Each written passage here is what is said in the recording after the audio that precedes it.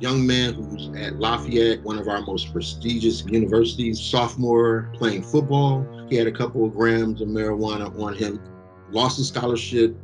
This has been following him for the last few years. He certainly shouldn't have to continuously have to face this mistake that he made a couple years ago. With this law, it would automatically clean him up. He's had several opportunities in the financial world, but because he has this charge and conviction on his record, he hasn't been able to progress. We thought it was stupid for this to have to stop him from moving forward the way that it had. You potentially see him potentially being able not only to help himself, but he would help a family, he would help his community, he would continue to give in a way that um, only elevates his whole community. Continue to call, continue to write, continue to email. Let them know legal weed for a PA.